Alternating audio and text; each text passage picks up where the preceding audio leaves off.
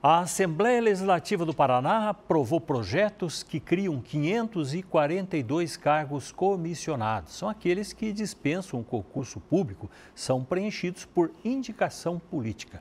Os cargos vão ser distribuídos entre a Assembleia Legislativa, Ministério Público e Tribunal de Justiça.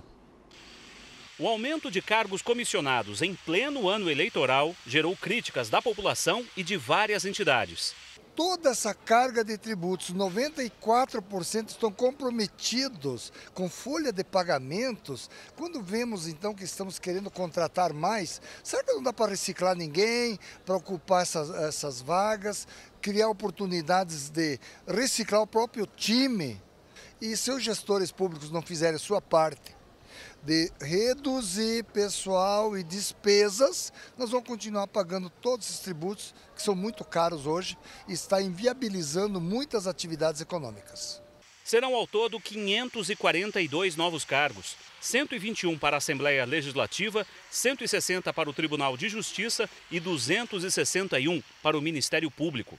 O projeto foi aprovado a toque de caixa pelos deputados, com duas votações no mesmo dia e sem a necessidade de redação final. Caso seja sancionado pelo governador do Paraná, Ratinho Júnior, o aumento de cargos irá custar cerca de 100 milhões de reais por ano aos cofres públicos. O presidente da Assembleia Legislativa do Paraná fez questão de defender a proposta, que, segundo ele, servirá para melhorar a estrutura de alguns setores.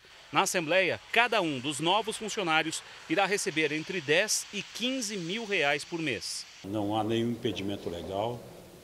Caso contrário, nem o Tribunal de Justiça, nem o Ministério Público apresentariam projetos dessa natureza. Não há objetivo político, pelo contrário, são servidores que que não ficarão à disposição de deputado, vamos deixar isso claro, não estarão em gabinetes de deputados. São funcionários que irão prestar serviço ao Poder Legislativo, batendo ponto pela manhã, ao meio-dia e final da tarde. Em nota, o Ministério Público informou que os novos cargos servirão para adequar serviços, principalmente nas promotorias do interior do Estado. Já o Tribunal de Justiça não se manifestou. Bom, o fato é que na Assembleia Legislativa há uma situação que é o sonho de todo político. O político adoraria poder fazer nomeações à vontade. A lei foi feita justamente para conter político ambicioso. E o fato é que sempre há um jeitinho de fazer as coisas no Brasil. Então, nós estamos aí com esses cargos, 542 cargos. Pode até ser que o Tribunal de Justiça, o Ministério Público realmente tenham necessidade e lá vai ser útil. Mas e a Assembleia Legislativa?